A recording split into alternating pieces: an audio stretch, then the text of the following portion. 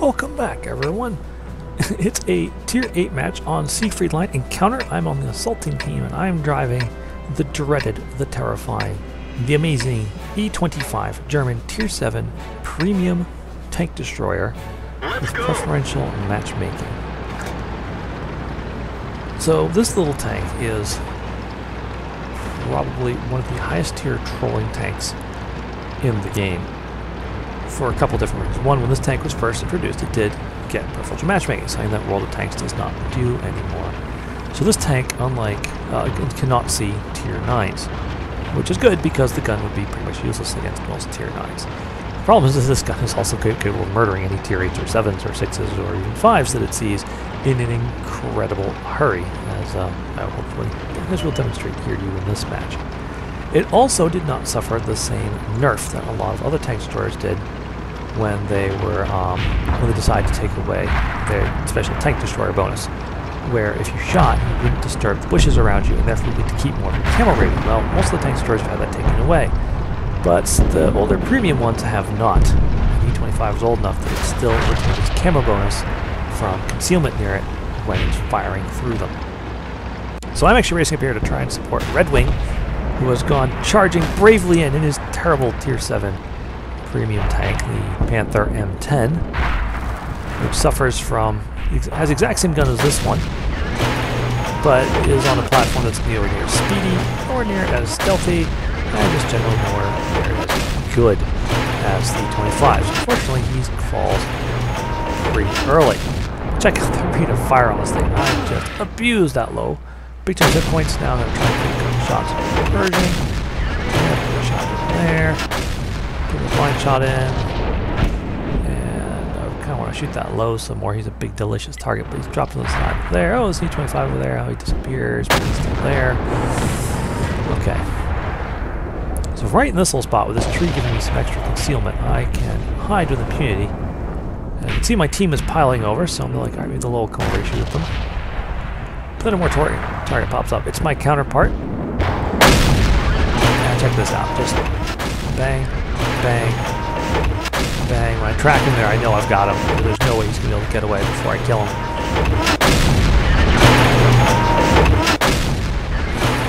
Now he's starting to get, trying to get away. That shot me. Oh, no, no, no, no, no, no escaping. No escaping with him down, I come over here now and help kill this help uh, kill this Pershing. I'm being spotted, but Red Wing's telling me the Löwe, the, the tank in the area is not looking at me, so I just continue pouring on the shells into this Pershing.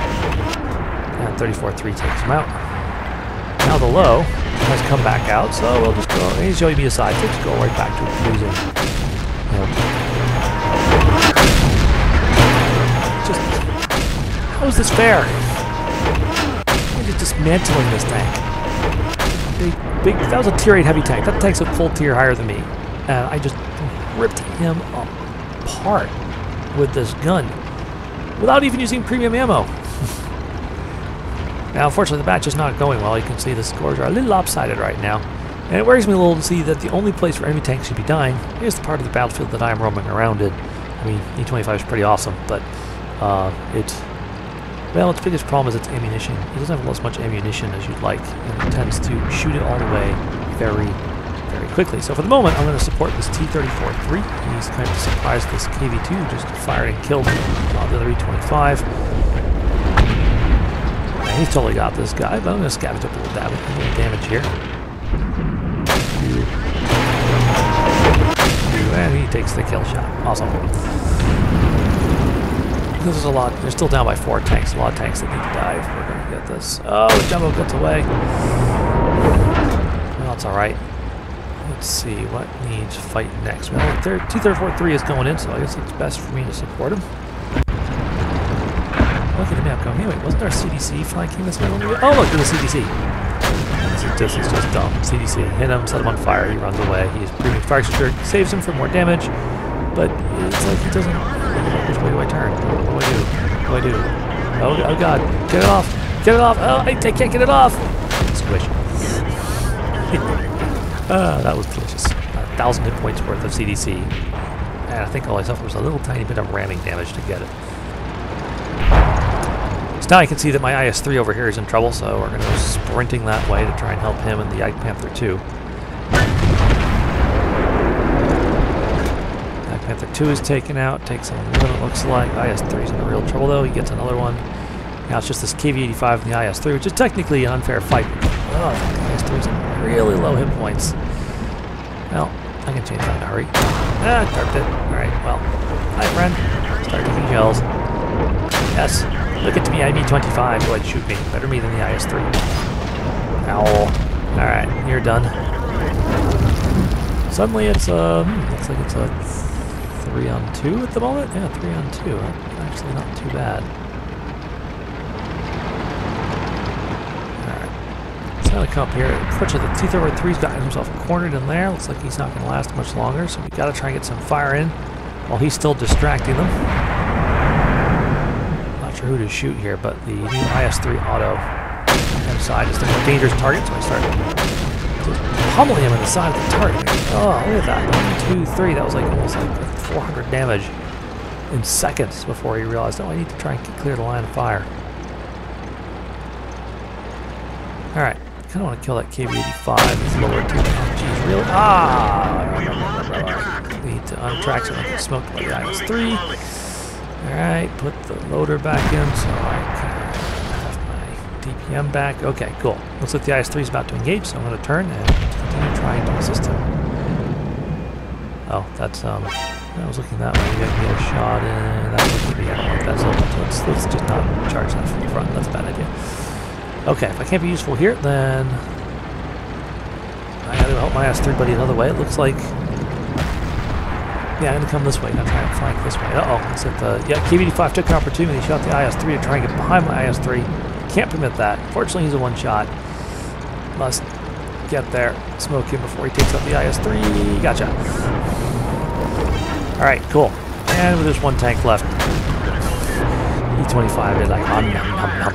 Bink. Bink. Oh, good. IS-3. Got the shot. Whew. Let's take a look at the post-game stats of that one. So, here's the post-game stats for that absolutely ridiculous match just watch. Much to my surprise, I got back. That was actually the first time I got a mastery badge in uh, my E25. And also, very nicely, got myself a high caliber. And what a high caliber it was. Take a look at the team screen, you'll see 4,346 damage with that little rapid fire pop gun. But even more surprisingly, 1,670 base experience. I'm not certain that's an all-time high for me, but it's if it isn't, it's a it's a very close second. Um, you don't see matches that come out to 1670 base experience all that often. Um, very solid match. This IS-3 that did 1200. I'd be very pleased with a 1200 base experience uh, carry. Also, T-34-3 also did a 1200 point uh, team carry because, mm, yeah, poor team. Poor Red Wing, I'm going to, you know, he's, he's stuck in the Panther M10. I hate that machine. You know, the the worst premium tank in the game in my in my singular opinion. But you can see the rest of the team, a lot of them just sort of got eaten. Uh, I don't even I don't even know what happened to most of them. It looks like they got off one or two shots and then died. Now, admittedly, same thing happened to some of the members of the other team, but they have a lot more people with um, acceptable damage scores. Comet with 2,000. Good job, sir. 12 ton with 1,500. Holy smokes, dude.